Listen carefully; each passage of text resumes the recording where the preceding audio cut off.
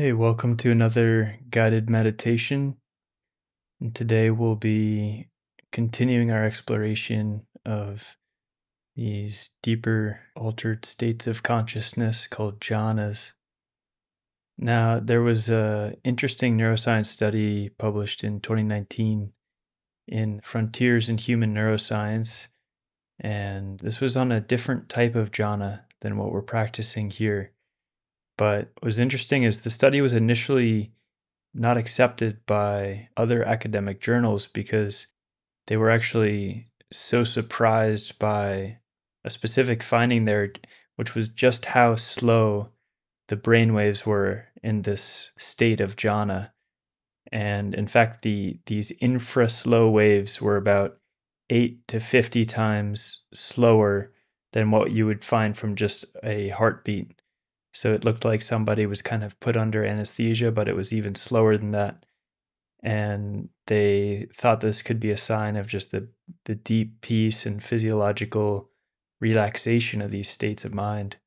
So even though that was a more extreme jhana than what we're practicing here, I think it goes to show that deep altered states do exist. And hopefully you can glimpse some of that as you practice more and sit longer. So please find a comfortable position, ideally with an upright spine. And then take a moment to relax from the top of your head, relaxing any tension in your forehead, inside of your head, around your eyes, your jaw.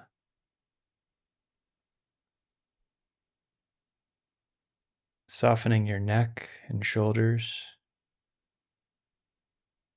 and then scanning down the rest of your body, releasing and relaxing any tension.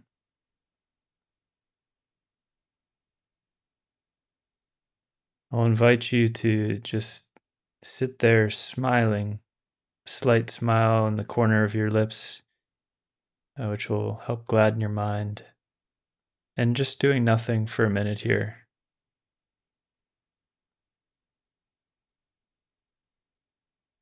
And then you can begin to kindle this positive emotion, the tangible feeling of warmth using a, a happy memory, a phrase like, May I be happy. Picturing a cute animal or baby or a close friend. Whichever of those tools brings up this feeling for you. And then what matters here is the feeling itself, which is your object of meditation. Or we might say it's your home base where you're resting your awareness.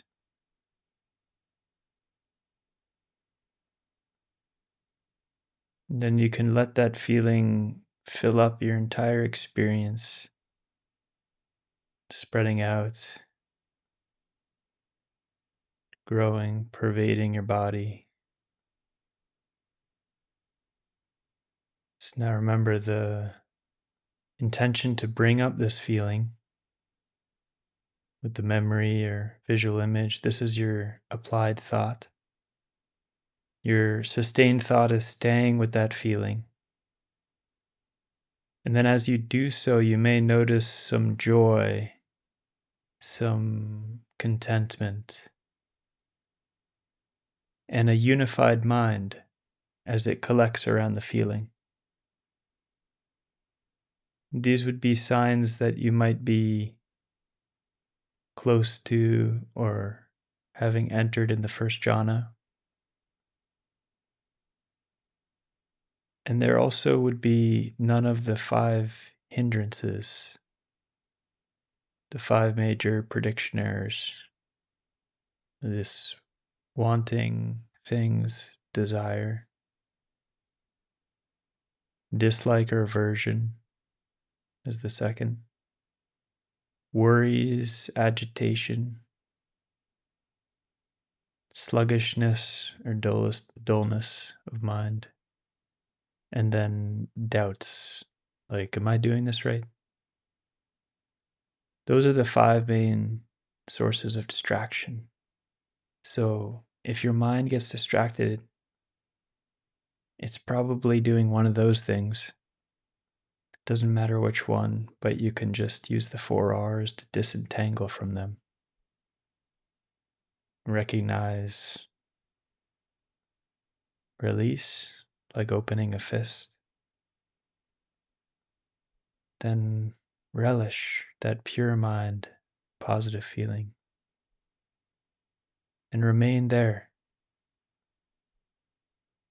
Remain with the positive feeling. You can use the mental image if you need to. Otherwise, just stay with the feeling.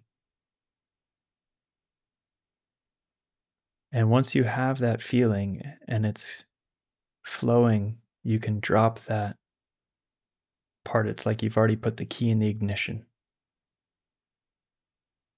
So that was the applied and sustained thought. Just stay with that feeling, watching it. Notice if the meta awareness begins to collect, pooling into a collection of awareness that's not flowing in and out, not going towards distractions. This happens as you use the four R's over and over again.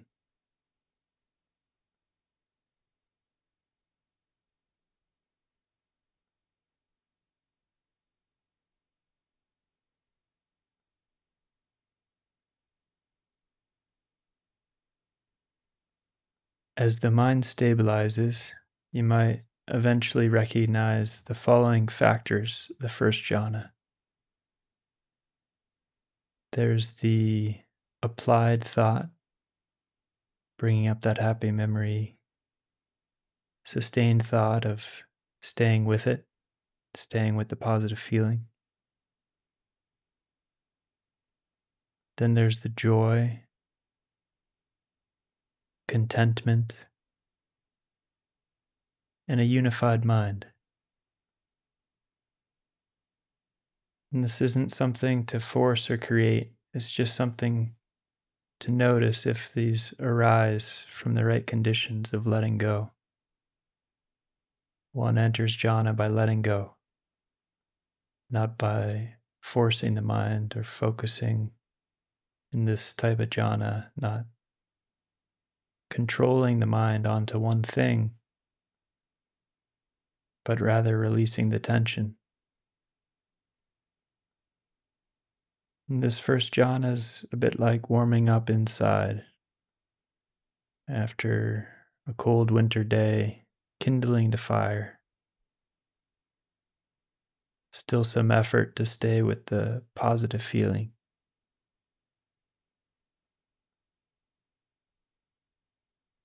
And then in the second jhana, the thoughts will become too heavy, and the mind will stay with the feeling automatically. So now there's just joy, contentment, and a unified mind. And it's kind of running on autopilot. You're just stepping back and observing, sticking with the fire on a cold day analogy. This is like the fire's already been lit. So you can just sit back on the couch and enjoy. Enjoy that positive feeling.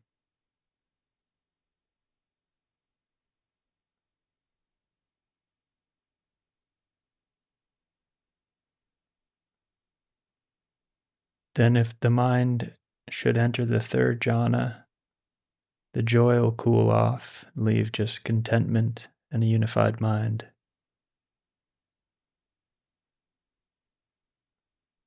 The third jhana, it's like you're on the couch sipping a cup of tea, nestled under a blanket on the couch.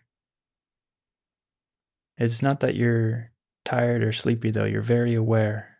It's just that you're comfortable, so comfortable in your body and your mind.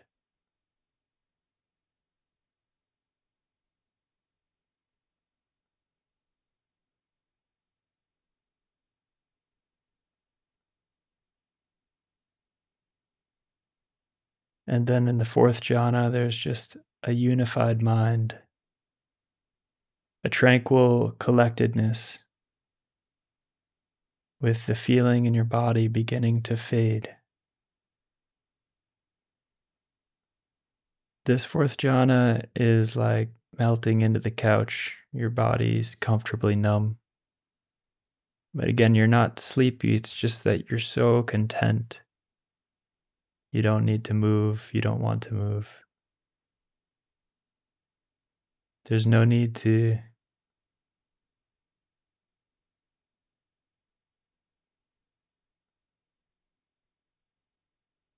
And so you just sit there wanting nothing and sink into that cooled off feeling, that blissful awareness.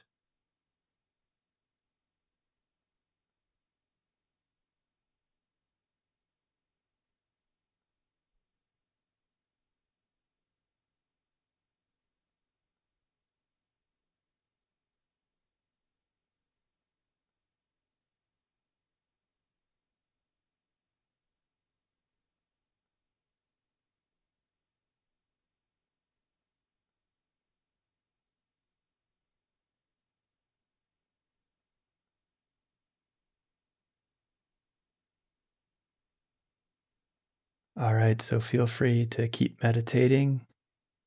And if possible, you can sit for a full hour without moving. The longer you sit, the better chance your mind will enter into these deeper states of awareness. But it can take time. And here I've just gone through some of the characteristics so you can recognize it. If this happens to you as you start to meditate more consistently and longer, but certainly it's not expected that you would experience these states. And so, as usual, if you're ending the session, you can just check in and see what you learned about your mind. And thanks for taking the time to train your mind. I'll see you over in the lesson where we'll talk some more about the jhanas, these altered states of consciousness, these levels of understanding about the mind.